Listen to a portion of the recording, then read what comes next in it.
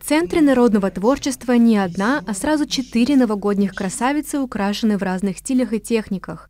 От хохломы до гжели, от вязания до войлоковаляния. Коллекцию елочных игрушек создали местные умельцы по мотивам народных художественных промыслов нашей страны. Презентация итогов акции «Елки России» объединила населенные пункты и дома культуры, детей и мастеров Уссурийска.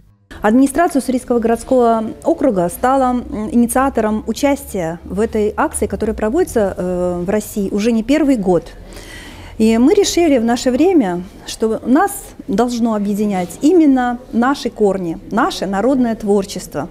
Костюмы авторов были не менее яркими, чем орнаменты на игрушках.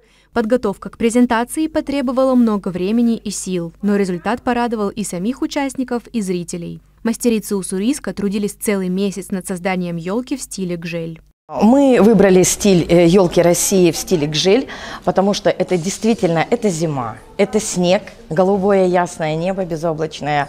И постарались представить игрушки в различных техниках. Шишки и ягоды дополнили композицию на высокой зеленой красавице в стиле хохломы. Сразу несколько творческих объединений округа активно работали над оформлением красочной елки. Подтверждение этому – многообразие поделок, резные коньки, расписные шары, текстильные птицы и другое. Нам досталась хохлома, но мы очень в дальнейшем потом даже обрадовались, потому что буйство красок и фантазии, наверное, заиграло так, что э, даже не все техники, которые хотелось бы представить, здесь находятся. Самая низенькая, мягкая и уютная елочка оформлена детской школой искусств. На ней советские открытки, которые выполнены в технике валяния шерсти.